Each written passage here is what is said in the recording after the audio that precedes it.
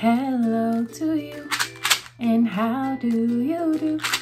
I'm happy to see you. Hello to you. Hello, my friends, and welcome to the Ambitious Little Learners YouTube channel. I am Miss H, and I am so happy that you are here with me on today. How are you feeling? I'm in an oh so happy mood, but I want to know how you are. Are you feeling a little bit happy today? If so, give me a big smile. Maybe you're feeling a little bit sad, and that's okay. Maybe you're feeling a little bit sleepy. You might even be feeling mad. However you are feeling, I hope that after watching this video, you are filled with just a little bit more joy. Today, we are going to learn and talk about shapes. Shapes are everywhere, all around us. Let's look and learn at some of the shapes we might see everywhere all around us each and every day. Shapes, do you know your shapes? Shapes, shapes, shapes are all around us. A circle is a shape that has no straight sides. A circle is a shape that has no straight sides. Shapes, shapes, shapes are all around us. Shapes, shapes, do you know your shapes? A triangle is a shape that has three straight sides. A triangle is a shape that has three straight sides. Shapes, shapes, do you know your shapes? Shapes, shapes, shapes are all around us. A square is a shape that has four equal sides. A square is a shape that has four equal sides. Shapes, shapes, do you know your shapes? Shapes, shapes, shapes are all around us. A rectangle is a shape that has four sides, two sides long and two sides short. A rectangle is a shape that has four sides, two sides short and two sides long. Shapes, shapes, do you know your shapes? Shapes, shapes, shapes are all around us. Shapes, shapes, do you know your shapes? Let's see what shapes we might see if we were to walk around the city. Let's check out the book, City Shapes. Here is our front cover, here is our back cover, and here is our spine. On the back cover of this book, it asks a question. What shapes will you discover in the city? Let's read and check it out.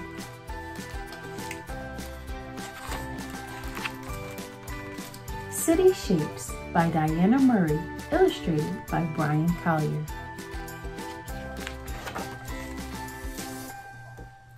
Pigeon takes flight through the bright cityscape, exploring the scenery, shape after shape.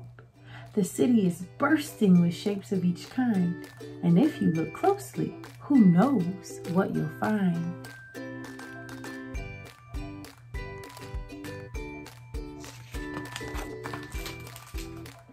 A truck rumbling by to deliver the mail, a silvery cart with hot pretzels for sale, and stacks of brown packages hauled up the stairs.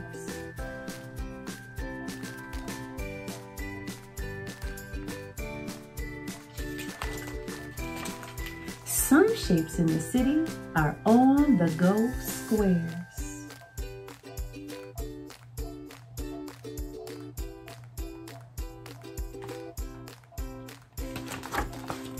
A skyscraper covered in shimmering glass, a long metal bench near a green patch of grass, and a table with glittering stars and gold bangles.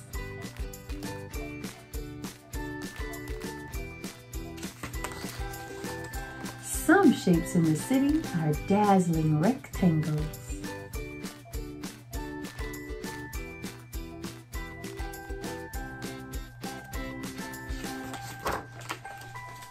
The seaport with all of its flowing white sails, and there in the market the pointy fish tails and colorful flags on a banner that dangles.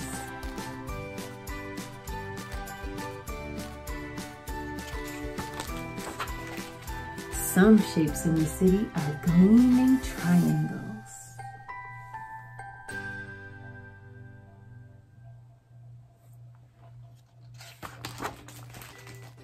The sunglasses worn by a cop on his beat, the wheels of the taxis that zip down the street, and a manhole that leads to the pipes underground.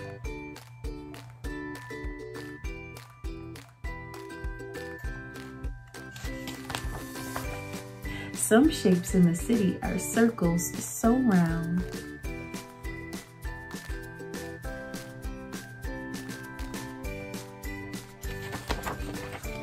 At sunset, the city is softly aglow as chit-chatting crowds hustle bustle below.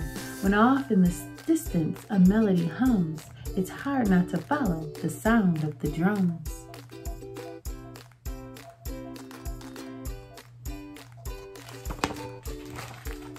The stage in the park where the instruments sing, some shapes in the city are ovals that swing.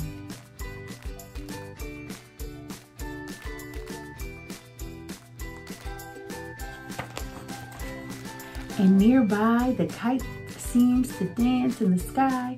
Some shapes in the city are diamonds that fly.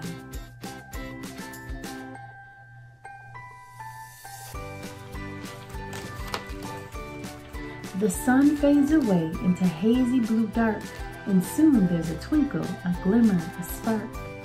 Scattered up high above buildings and cars, some shapes in the city are far away stars.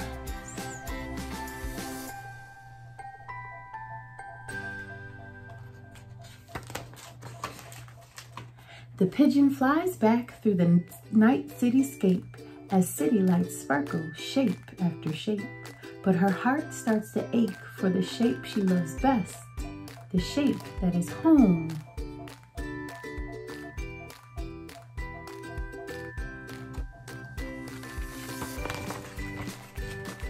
Her warm circle nest. Hear the whirring and beeping of cars rushing by, puts her fa helps her fall fast asleep like a sweet lullaby.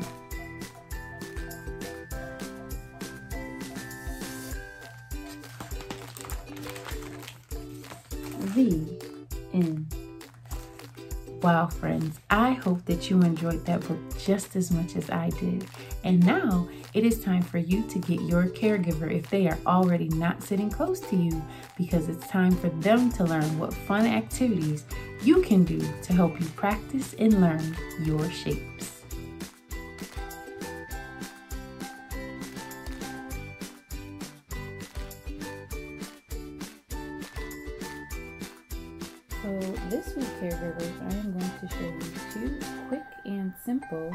Low prep activities to help your child practice recognizing and identifying shapes.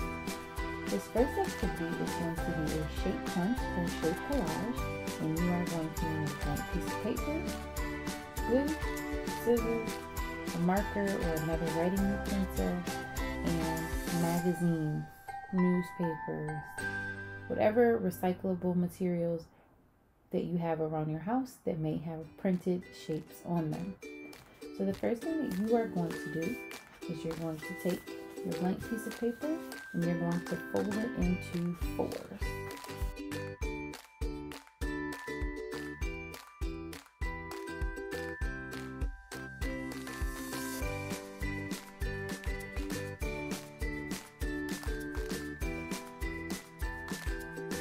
Once you open the paper back up, you should see your four sections.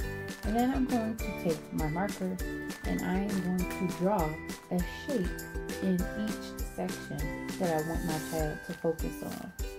So I'll do a circle here.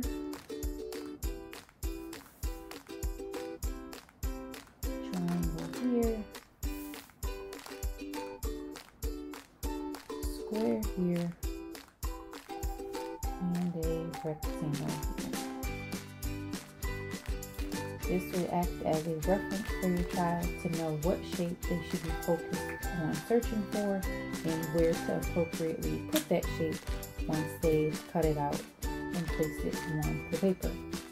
So now you're just going to give them magazine, newspaper, whatever recyclable material you have. Again, I love those free weekly ads that they put in your mailbox. Check those out. They are full of colorful pictures that you can use for these activities. If you don't feel comfortable allowing your child to cut, then you will do the cutting for them, but at least allow them to look and search for the shapes with you.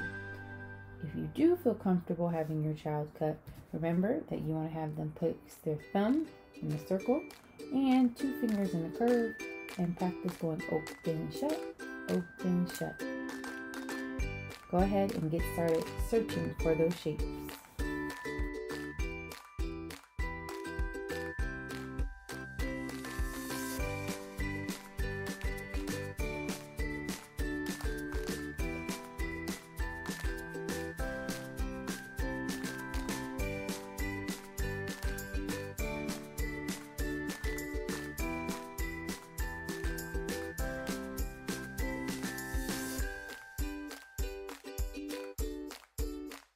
The alternative to this project would be to take this same piece of paper that you've divided into four parts and place it on a clipboard or give your child something hard to write with and walk around your neighborhood to see what shapes they might see in real life.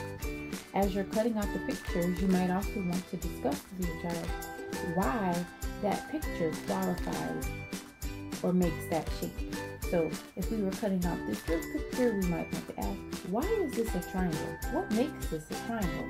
And you can have the discussion that it has three straight sides and it also has three corners.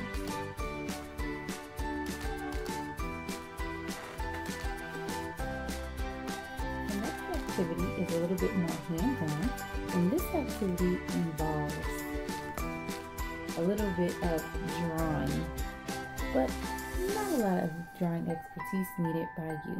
So what you're going to need for this activity is some wax paper. If you do not have wax paper, that is okay. You can also use a cookie pan or cookie sheet. And you're also going to need Play-Doh and a permanent or dry erase marker. If you're going to do this on wax paper, I would use the permanent marker. If you are going to use the cookie pen, then I would use the dry erase marker. You simply want to unroll your wax paper,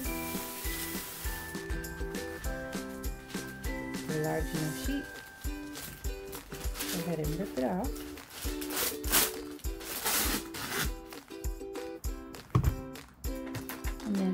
Wax paper, for your child, you are going to draw a very simple house using shapes and shapes only. For my house,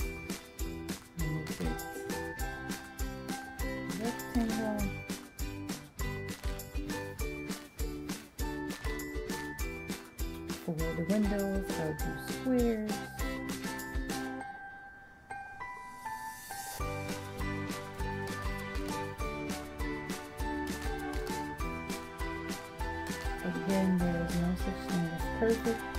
You do want to make sure that you are using very simple shapes.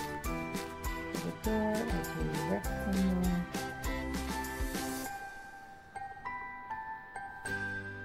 For the doorknob, I'll do a circle. And for the roof, I will do a triangle.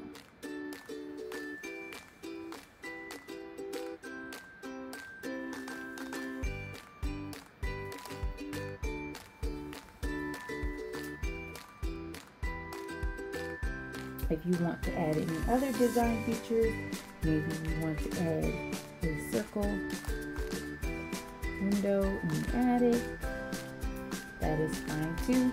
Maybe you want to do a rectangle chimney,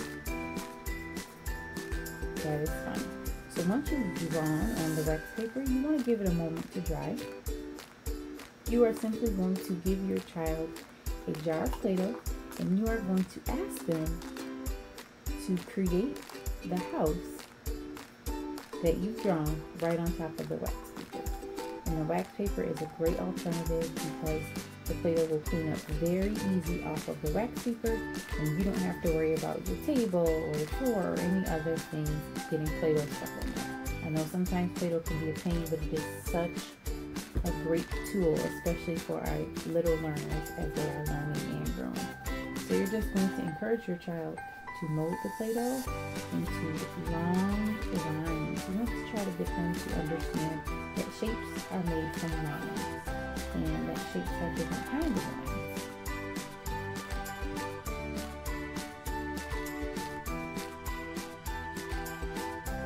Let them be creative as they go. There is no right or wrong, and this is an activity that they can come back to over and over and over again.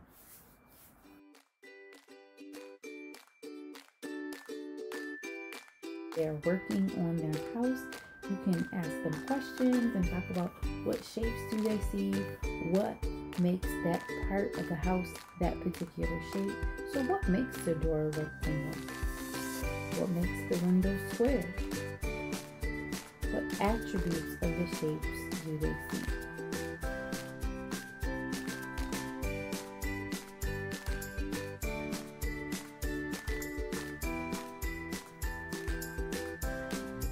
I hope that you enjoyed the read aloud, songs, and activities we worked on in this video. I can't wait to see your finished results. Please make sure that you subscribe and you join our Facebook group. I look forward to seeing you again soon.